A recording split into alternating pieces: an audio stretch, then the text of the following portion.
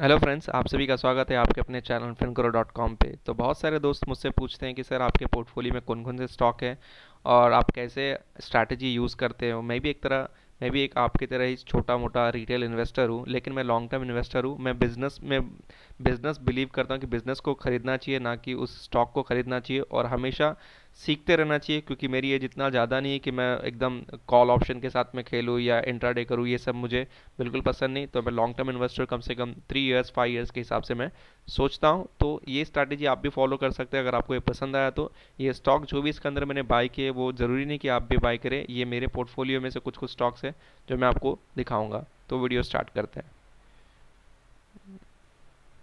सो so friend मैं retail investor हूँ तो लेकिन मैं लॉन्ग टर्म के लिए इन्वेस्टमेंट करता हूँ और मैं बिलीव करता हूँ कि student be a student for lifetime आप हमेशा के लिए स्टूडेंट रहोगे तो रोज़ नया सीखोगे और हमेशा जो भी इन्वेस्टमेंट करोगे सेव करोगे. बहुत सारे लोग कमेंट करते हैं कि जी एंटरटेनमेंट को बाय करना चाहिए ये शेयर बाय करना चाहिए ब्राइट कॉम करना चाहिए पेनी स्टॉक खरीदना चाहिए कॉल ऑप्शन में डील करना चाहिए या इंट्राडे करना चाहिए। पर जो जैसे कि हम जैसे लोग जो मिडिल क्लास फैमिली से बिलोंग करते हैं उनके हिसाब से वो सब मेथड जो कहते हैं कि ये सब स्टॉक में डालो बिल्कुल रॉन्ग वे है जिसमें आपका पैसा डूबने के चांसेस हैं। तो हमेशा आप फंडामेंटल स्टॉक्स में ही इन्वेस्टमेंट करें का, काफ़ी अच्छे स्टॉक जो बिज़नेस वाइज में भी अच्छे हो। जैसे कि जी एंटरटेनमेंट में काफ़ी केसेस फ्रॉड केसेस इन्वॉल्वमेंट है येस बैंक में इन्वॉल्वमेंट है भले वो शेयर आज 160 के और कल 250 के हो जाए, लेकिन उसमें मेरा पैसा सेफ़ नहीं, इसके लिए मैं उसमें नहीं डालूँगा। अगर मैं कुछ कमा नहीं रहा हूँ तो मैं गंवाना भी नहीं चाहता। ये मेरा स्ट्रैटेजी रहता है और उसके हिसाब से मैं पैटर्न फॉलो करता हूँ। पहले क्वालिटेटिव फिर क्वांटिटेटिव एनालिसिस फिर वो स्टॉक मुझे पसंद आता है, उसका फिर मैं टेक्निकल चेक करता हूँ और मैं उसके हिसाब से ज़ीरो टू वन ईयर के हिसाब से मैं अपने क्लाइंट्स को भी रिकमेंड करता हूँ।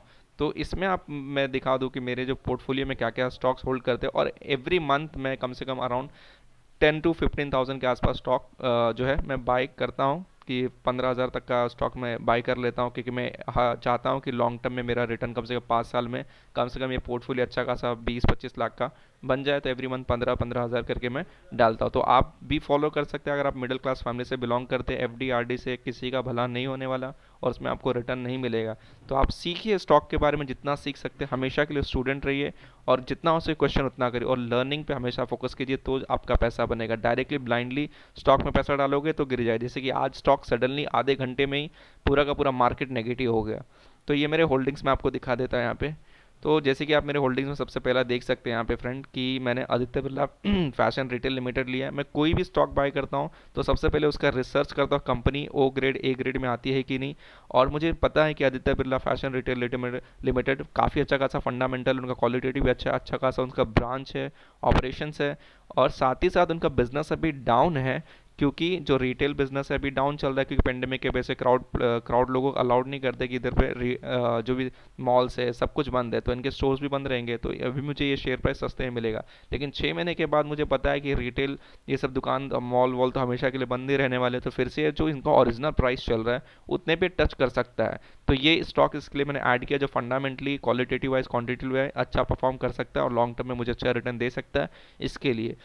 नेक्स्ट मैंने आलोक इंडस्ट्री शेयर लेकर के रखा है। तो आलोक इंडस्ट्री मैंने इसके लिए बाई किया है कि मुझे पता है कि जो इसमें जो मुकेश अंबानी है वो एक बिज़नेस मैन है और हमेशा एक बिज़नेस के हिसाब से ही सोचते हैं। तो कोई भी इन्वेस्टमेंट जल्दी रॉन्ग नहीं करते और साथ ही साथ हमको ये भी देखना है कि जो रिलायंस है रिटेल सेगमेंट पे काफ़ी ज़्यादा फोकस करे काफ़ी सारे जो उनके जो कपड़े ये सब बन, बन, बनते हैं वो बांग्लादेश इधर सब साइड से भी इंडोनेशिया यहाँ से भी बना करके लाते हैं। तो अब टेक्सटाइल जो है आलोक इंडस्ट्री, उसका काफ़ी ज़्यादा फ़ायदा उठाने वाले पी पी के जैसे प्रोडक्शन कर रहे हैं उससे काफ़ी ज़्यादा इस कंपनी को फ़ायदा होगा लॉन्ग रन में भी। तो साथ ही साथ, वो जो भी इधर पे प्रोडक्शन करेंगे, वो सीधा अपने रिलायंस रिटेल में, वहाँ पर ये यूज़ करने वाले। तो इस, इसका स्ट्रैटेजी है, जो मुकेश भाई का, वो लॉन्ग टर्म में आपको अच्छा खासा ये स्टॉक रिटर्न दे सकता है। लेकिन मैं हमेशा फेक प्रोमिस पे किसी की भी मत जाओ, कि सीधा ये पाँच सौ का स्टॉक हो जाएगा। ऐसा कुछ नहीं होने वाला। मैक्स टू मैक्स अगर ये टच करता हो तो hundred rupees hundred and twenty rupees के आसपास टारगेट बना करके चलो। हमेशा पेसिमिस्टिक और ऑप्टिमिस्टिक के बीच में एक लाइन रहता है, वो बरकरार रखिए सो दैट आपका पैसा कहीं नहीं जाएगा। और ज़्यादा स्टॉक्स बाय मत कीजिए, अगर आप रिटेल इन्वेस्टर हो। आप मेरा क्वांटिटी भी यहाँ देख सकते हैं, मैंने कितना कितना बाय किया है। सेकेंड में नया अशोक लीलैंड बाय किया है, क्योंकि जैसे जानता हूँ रिसेंटली जो रिटेल सेल्स है अपना अगर हम व्हीकल्स का, जो डाउन हो चुका था अराउंड सेवेंटी एट परसेंट से डिक्लाइन हो चुका है। और अभी वो कहूँ तो ये मंथ में जुलाई में 16.63 परसेंट से डिक्लाइन हुआ तो मतलब लास्ट ही मंथ से ये थोड़ा मंथ में इंप्रूव हुआ है। और with respect to last year की अगर बात करें तो 2.78 परसेंट से जो ऑटो सेल्स में ओनली कमर्शियल व्हीकल और पैसेंजर व्हीकल्स में डिमांड ग्रो हो रहा है। और मैं जानता हूँ अशोक लीलैंड छोटी मोटी तो कंपनी है नहीं जो अचानक से वो हमेशा 49 पे ही पड़ा रहेगा। वो मुझे पता है उसका डिमांड फिर से पिकअप होगा। तो उसके हिसाब से मैंने स्टॉक पिकअप करके रखा है 55 पे बाई की और आप देख सकते हो जो करंट अच्छा खासा परफॉर्म कर रहा है। नेक्स्ट है अतुल ऑटो जैसे कि अतुल ऑटो थ्री व्हीलर्स में डील करता है, जैसे बजाज ऑटो है। बजाज ऑटो मैं नहीं खरीद सकता, मेरी कैपेसिटी नहीं वो साढ़े तीन हज़ार का शेयर है और ये मुझे एक सौ अस्सी में मिल रहा है। और इनका fundamentally qualitative wise quantity wise काफ़ी अच्छा है और सेम केस जैसे अशोक लीलैंड में, इनका भी वैसे ही है कि जैसे ही डिमांड पिकअप होता है पेंडेमिक ख़त्म होता है तो इनका ऑटो सेल्स फिर से ऊपर जाएगा। इसके लिए मैंने ये शेयर बाई करके रखा है। नेक्स्ट है एच एफ़ सी एल अगर बात करूँ तो एच एफ़ सी एल मैंने बहुत सारे वीडियोस में डिस्कस भी किया एक कंपनी ने फ़िलहाल काफ़ी ज़्यादा अपना प्रमोटर्स मैं जानता हूँ कि प्लेज करके रखा अपना शेयर लेकिन ये बिज़नेस जिसमें डील करता है टेलीकॉम इक्विपमेंट में डील करता है। और हम जानते हैं जो कि चाइना और इंडिया का डिस्प्यूट चल रहा है, जिसके वजह से ये कंपनीज़ को लॉन्ग रन में फ़ायदा होता है। मतलब जो भी सोलार या जो भी चिप ये सब बनते हैं। हम पहले चाइना से बहुत सारा लेकर के आते हैं। तो ये सब कंपनीज़ भले आई टी आई है, स्टरलाइट टेक्नोलॉजी सब बड़ी बड़ी कंपनीज़ है, लेकिन मुझे छोटा एकदम पेनी स्टॉक्स चाहिए तो फंडामेंटली भी अच्छा हो और लॉन्ग रन में मुझे अच्छा रिटर्न देता हो। तो इनका टाइप है बहुत सारे अपने गवर्नमेंट जो इंडियन रेलवेज रहते हैं, वहाँ से भी इनका टाइप है कि जो उनका पार्ट्स वार्ट्स कुछ ना कुछ ये बनाते हैं। तो ये स्टॉक्स मैंने H F C L more than three years के हिसाब से मैंने पकड़ के रखा है बाई करके रखा है। तो तेरह रुपये के हिसाब से मैंने बाई किया है। और इसमें चल रहा है। और आज तो मार्केट क्रैश हुआ तो आपको मेरा रेड दिखेगा, दिख रहा रहेगा, लेकिन कल ये पूरा का पूरा ग्रीन में था ए टू जेड दूसरा मैंने लिया है आइडिया आइडिया मैंने ये टेम्प्रेरी बेसिस के लिए लिया है जस्ट फॉर कि वर्डिक्ट आता है, क्योंकि मैं जानता हूँ, अगर मार्केट में दो प्लेयर है बड़े बड़े भारतीय एयरटेल और दूसरा रिलायंस जियो जिसके उनका डिमांड डेफिनेटली ग्रो होगा, इनके पर प्रेशर चल रहा है, क्योंकि एजीआर ड्यूज़ का स्पेक्ट्रम चार्जेस का सब का। लेकिन गवर्नमेंट नहीं चाहेगी कोई भी वोडाफोन आइडिया सीधा का सीधा बंद कर दे, क्योंकि इसमें बहुत सारे एम्प्लॉयमेंट और बेरोजगार लोग हो जाएँगे अगर ये बंद कर देते कंपनी तो इसके लिए स्टैगर पेमेंट जो होने वाला पंद्रह साल के थ्रू ये पेमेंट करने वाले हैं। तो चांसेस है शेयर प्राइस फिर से थोड़ा सा ऊपर जाए, भले फंडामेंटली स्ट्रांग नहीं है, लेकिन मेरा बिलीव है कि कुछ टाइम में ये ऊपर जाएगा, तब मैं इसमें से प्रॉफिट बुक करके निकल जाऊँगा। जब ये मैंने नौ रुपये तिरपन पैसे पे लिया तो कम से कम ये पंद्रह सोलह रुपये पे जाएगा तो मैं बेच करके निकल जाऊँगा। नेक्स्ट अगर इंडिया होटल इंडियन होटल तो मैंने वहाँ पे ई आई एच होटल और शेलट होटल हो गया या फिर इंडियन होटल हो गया तो तीनों कंपनी बेहतर है, जो किसी में भी कीजिए।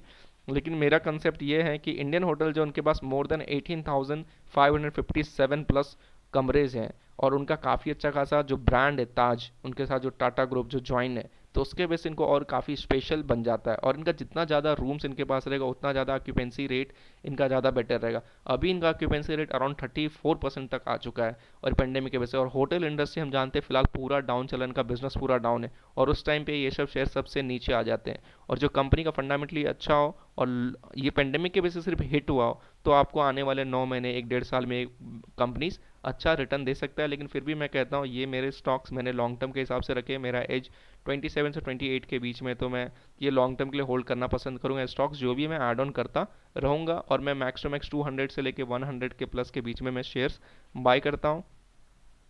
उसके बाद मैंने पराग मिल्क लिया। आप जो भी शेयर देखेंगे आपको थोड़ा 200 के नीचे ही मिलेगा, क्योंकि मैं, मेरा रेंज ही वही रहता है कि मैं अच्छे स्टॉक्स पिकअप करूँ और उतना रेंज में मेरा मिल जाए। तो यहाँ पे पराग मिल्क मैंने शेयर्स बाई किया पराग मिल्क में अराउंड मैंने एट्टी नाइन रुपीज़ पे बाई किया था और आज तो एक सौ ग्यारह तक भी गया था थ्री हंड्रेड क्वान्टिटीज़ लिया है।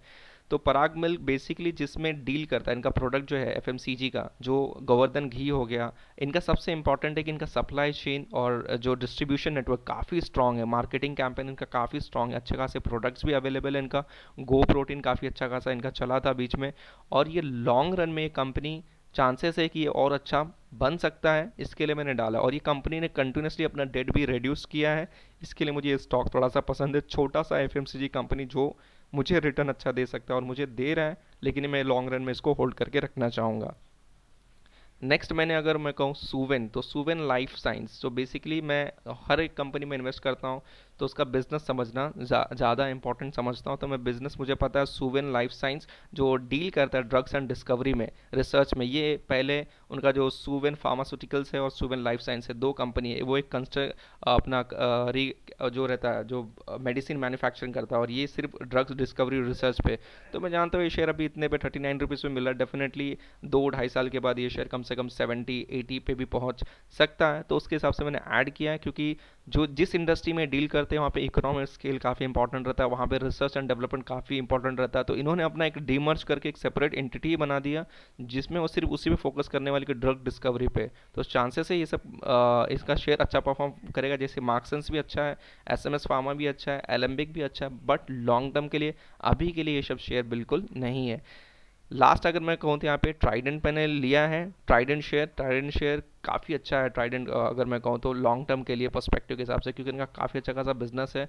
और जो फ़िलहाल सिचुएशन को काफ़ी ज़्यादा हिट हुआ है, जिसके वजह से ये शेयर प्राइस अभी आपको छः रुपये मिल रहा है, लेकिन लॉन्ग रन में अच्छा मिल सकता है। काफ़ी ट्राइडेंट होटल्स हो गया ट्राइडेंट इनका जो टॉवल्स का इसे, इनका जो सबसे ज़्यादा इनको जाना जाता है। तो उसके हिसाब से मैंने सब शेयर ऐड करके रखे हैं। तो ये सब मेरे पोर्टफोलियो में इतने सारे शेयर हैं।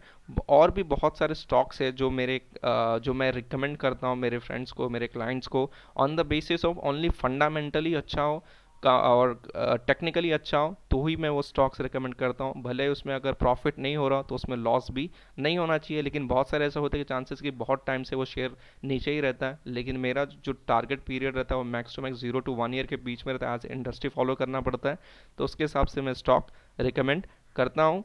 तो आप जितना सीख सको, पहले सीखो, फिर इन्वेस्ट करो, मेरा यही कहना। और be a student for lifetime तो ही आप पैसा कमा सकते हो स्टॉक मार्केट में। पैनिक होकर आपको कुछ नहीं मिलेगा कि आज मार्केट नीचे गिर गया यार, अभी कौन सा शेयर मुझे निकल जाना चाहिए। पैनिक बिल्कुल मत हो। सिर्फ़ पैनिक वही होता है जो शॉर्ट टर्म इन्वेस्टर रहते हैं, जो एक दो दिन में सोचते हैं कि लखपति करोड़पति बनने का। शॉर्टकट तरीका है ही नहीं स्टॉक मार्केट में। अगर आपको एक दिन में करोड़पति बनेगा तो अगले दिन आपको रोड पर भी ला देगा। वो शॉर्टकट तरीका आप बिल्कुल मत आजमाएँ। अगर मिडिल क्लास फैमिली से बिलोंग करते हैं आप तो कम से कम आप सोचें कि मुझे हर साल एफ़ डी आर डी से अच्छा मैं हर साल कम से कम महीने का पाँच हज़ार या दस हज़ार करके मैं स्टॉक में डालता रहूँगा और जब मेरा एज थर्टी टू हो जाएगा थर्टी फाइव हो जाएगा तब मैं इसमें से अच्छा खासा रिटर्न कमा करके अपनी फैमिली के लिए जो भी मेरे एम्बिशन से गोल्स है मैं उसको पूरे कर सकूँ तो उसके हिसाब से आप आ, कर सकते हैं। सो so फ्रेंड ये था मेरा पोर्टफोलियो के बारे में। होप सो आपको ये वीडियो पसंद है। साथ में साथ जो कंटेंट अगर आपको अच्छा लगा तो इस चैनल को सब्सक्राइब ना, करना ना भूलें। मैं जो भी एनालिसिस करता हूँ बेस्ड ऑन फंडामेंटल होता है और मैं काफ़ी ज़्यादा इकोनॉमिक्स को फॉलो करता हूँ इंडस्ट्री एनालिसिस फॉलो करता हूँ तो ही एक मैं अच्छा इन्वेस्टर बन सकता हूँ। और मुझे और ग्रो करना है लाइफ में, और बनना है, आगे बढ़ना है। पैसे को और पैसे से पैसा बनाना है हमको। हमेशा के लिए जॉब पे डिपेंडेंट बिल्कुल नहीं रहना है। एक डिफरेंट सोर्स ऑफ़ इनकम या पैसिव इनकम चालू करो जो आपको एक तरह से आपके जॉब डिपेंडेंस से हटा दे। कैसे सिचुएशन है सबसे ज़्यादा अगर लात मारा तो कंपनी ने हमको लात मार के निकाला है। तो चाहे तो कभी भी निकाल सकते इसके लिए मैंने एक तरह से ये यूट्यूब चैनल चालू किया है। लास्ट टू मंथ्स में अच्छा खासा परफॉर्मेंस और अच्छा खासा रिस्पॉन्स आप सबसे मिला इसके लिए मैंने ये, इस पर फोकस कर रहा हूँ और साथ ही साथ मैं अपना पोर्टफोलियो बिल्डअप कर रहा हूँ। साथ ही साथ अगर आपको स्टॉक से रिलेटेड कोई भी जानकारी चाहिए तो आप मुझे डायरेक्टली दिए नंबर पर मैसेज कर सकते हो कॉल कर सकते हो। और डीमेट अकाउंट ओपन करने के डिस्क्रिप्शन में लिंक शेयर कर दो, वहाँ जा करके ओपन कर लो। और इस चैनल को सब्सक्राइब करना ना भूलो फ्रेंड धन्यवाद।